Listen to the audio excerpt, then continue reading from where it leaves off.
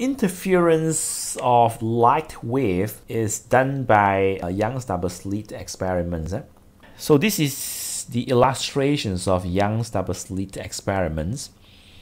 Uh, from here we can see that uh, there is a monochromatic light source. If you still remembers, when we discussed diffractions, uh, we, al we already learned that uh, monochromatic light means that uh, light with only one color or one frequency or one wavelength okay? So uh, so we use a monochromatic light. In this case we use a red light. The red light is directed through a slit eh? okay here label double slits eh? uh, do make, make some corrections here. Okay so do some corrections here. This is not double slit eh? this is single slit. Single slit because there was that because there's only one slit okay? And this is double slits because we have two slits here so the red light is directed towards a single slit. Eh? Okay. Now after it passes through the single slit, uh, it will spread due to diffractions. Eh? Okay. Due to diffractions, it will spread to a wider area. Okay. And uh, after it spread, it will uh, passes through these uh, two slits. Eh? Okay. And again, it undergoes diffraction and it spread again eh? spread again okay. This one is spread again. It spread again okay. At the place eh, where the light meet here okay at these regions eh, okay so at the place where the light meets with each others uh, interference occurs okay. Superposition occurs and uh, because the light is uh, coherent eh, okay because there are they are coming from the same source, uh, so they are coherent, and therefore they undergoes uh, interference. Uh, interference, and if we put a white screen here, then uh, this are the uh, this is the patterns that we observe. Okay, this is the patterns that can be observed on the screen.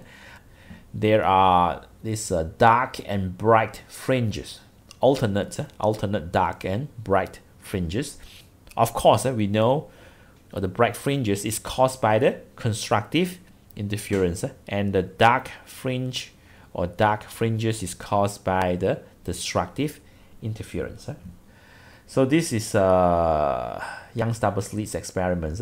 And this experiment is uh, done by Young. Okay, this is scientist. Okay, this is a proof that light is a wave. So this is this experiment proved that light is wave because only wave can undergo interference. Other things cannot undergo interference. So uh, this experiment shows that uh, light can undergo interference and therefore light must be wave. Okay, and again. Uh, since it's uh, interference, so we can use this formula lambda equals to ax over d to find the wavelength. Okay, so this also the methods that we use to find the wavelength of light. So there are a few things that you need to know about this uh, experiment. Okay, first you need to know the requirement for these uh, experiments to be observable. Eh?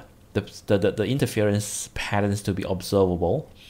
Uh, first, we, we need to use monochromatic light. Eh? Okay, and second, the size of the slit need to be very small uh, because the wavelength of uh, light wave is very small okay? So if you want to see the diffractions of the wave uh, because just now we learned that when the light wave passes through the slit uh, it will undergo diffractions uh, and if we want diffractions to occur the, the wavelength uh, must be uh, about the size of the slits uh, okay so therefore uh, the size of the slit must be very small because the wavelength is very small and uh, third the distance between the two slits eh, is the double slits okay the distance between these two slits must also be very small eh?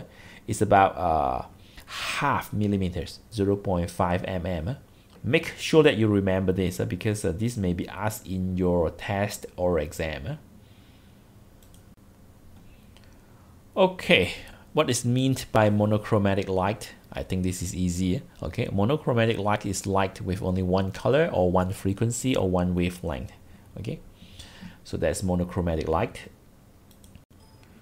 another things that you need to know is um, what are the factors that affect the distance between the fringes that affect x uh, okay how to make this x bigger or how to make this x smaller to answer the questions we refer to the formula of the patterns of interference uh, the formula lambda equals to ax over d uh, and therefore x equal to d lambda over a okay. So from these equations we learn that uh, x will increase if d increase or uh, if the lambda increase or if a decrease because um, because x is directly proportional to d and lambda uh, inversely proportional to a yeah? so if we want to increase x we must increase d or increase lambda or reduce a yeah?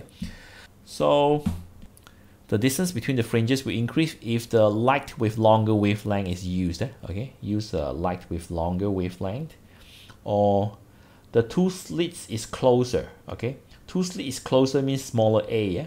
a is the distance between the two slits eh? okay so smaller a means that the slits are the slits are closer to each others.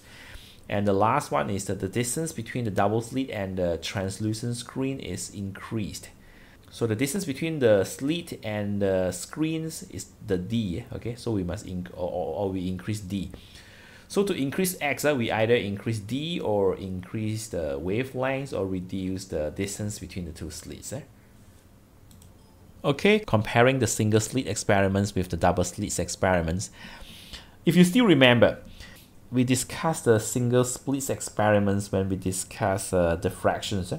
okay so single slit experiment is used to investigate the diffractions of light and double slits experiment is used to investigate the interference of light so single slit experiments for diffractions of light and a double slit for interference of light and this is the patterns okay this is the patterns uh, of uh, single slit experiments and this is the patterns of this uh, double slit experiments uh. For uh, interference of light, uh, the distance between the fringes uh, are uniform. Okay, the distance are uniform, but for uh, diffractions of light, the the size of the fringes is not uniform and the distance between the fringes is also not uniform. Okay, we, we have a very uh, bright light in the middle, okay, uh, and also the big white fringe here. But then uh, after that the fringes will become uh, smaller and smaller okay? And the distance also not the same eh? uh, make sure that you know the difference because in exam they may uh, usually it's objective questions okay? They, they may give you the few uh, similar fringes eh? and then they will ask you which one is the result of uh, single slit experiments and which one is the results of the double slit experiments okay so make sure that you know the difference between these two patterns eh? Okay, so this is for uh, diffractions of light and this is for interference of light.